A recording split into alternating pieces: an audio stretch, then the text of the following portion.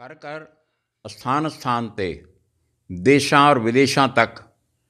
ਇਹ ਸਾਰੇ ਧਾਰਮਿਕ ਉਪਰਾਲੇ, ਇਹ ਧਾਰਮਿਕ ਦੀਵਾਨ,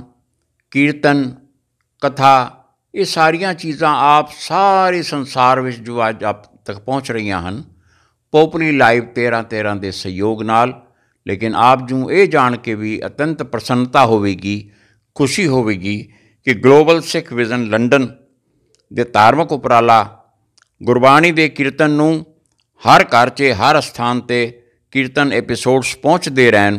ਸਹਿਯੋਗ ਕਰਕੇ ਉਹਨਾਂ ਨੇ ਪੋਪਲੀ ਲਾਈਵ ਨੂੰ ਕੇਵਲ ਸੇਵਾ ਕਰਦਿਆਂ ਔਰ ਕੀਰਤਨ ਆਪ ਤੱਕ ਪਹੁੰਚਾਉਂਦਿਆਂ ਨਹੀਂ ਤੱਕਿਆ, ਬਲਕਿ ਉਹਨਾਂ ਨੇ ਵਰਲਡ ਵਾਈਡ ਇਸ ਚੀਜ਼ ਨੂੰ ਮਹਿਸੂਸ ਕਰਦਿਆਂ ਹੋਇਆਂ world book of record London ਦਾ ਉਹਨਾਂ ਨੂੰ ਮਾਣ ਬਖਸ਼ਿਆ ਹੈ। ਸੱਚੇ ਸਾਚੇ ਪਾਤਸ਼ਾਹ ਨੇ